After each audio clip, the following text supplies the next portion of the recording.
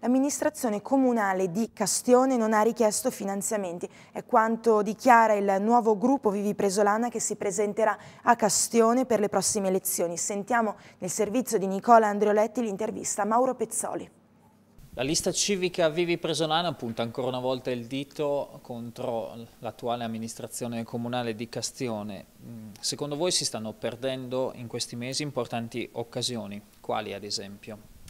Sì, esatto, noi stiamo valutando un po' l'operato di questa amministrazione e dall'analisi che stiamo facendo si evince proprio che sono, eh, si sono perse grosse opportunità per il Castione Presolana. La, la, più evidente è quella del bando regionale per i comuni al di sotto di 5.000 abitanti, nel quale la Regione Lombardia ha stanziato oltre 53 milioni di euro per i piccoli comuni con progetti fino a 300.000 euro e nel quale eh, Castione della Presolana è, è, assente.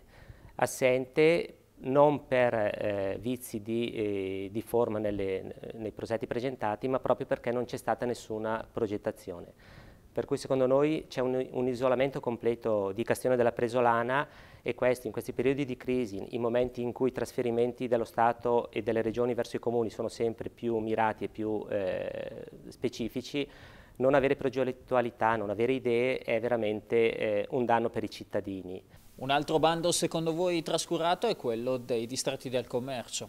Esattamente, Castione secondo noi ha perso l'opportunità di aggregarsi a quello che era il, il distretto del commercio di Clusone, i distretti del commercio sono l'unica forma di finanziamento per il settore commerciale eh, messo in campo dalla Regione Lombardia che ovviamente eh, promuove l'aggregazione di più comuni.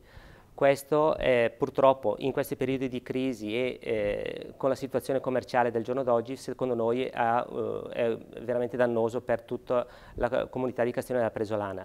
Un altro sintomo veramente eh, importante è stato quello della mancanza di sensibilità da parte dell'amministrazione riguardo all'illuminazione del capoluogo nelle festività natalizie. Se, fosse, se un, un, singolo commerciante non si fosse data da fare per eh, presentare il paese in modo eh, decoroso avremmo avuto Castione Capoluogo senza le luminarie natalizie.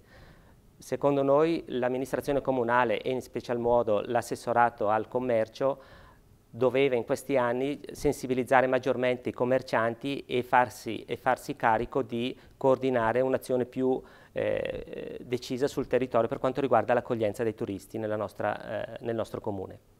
Il gruppo consiliare dell'intesa a cui abbiamo chiesto una replica ci ha comunicato che non intendiamo partecipare al baccano che questo gruppo sta facendo per darsi visibilità. Constatiamo solo che non ha una minima conoscenza dell'attività amministrativa svolta né ha mai dato alcun tipo di contributo al dibattito amministrativo e a titolo esemplificativo ricordiamo solo alcuni finanziamenti come ad esempio i 6 milioni di euro per l'ex colonia d'Almine, i 600 mila euro per i lavori idraulici che partiranno a breve e i fondi per la la sistemazione della strada per il Pora. Questa è la replica della maggioranza.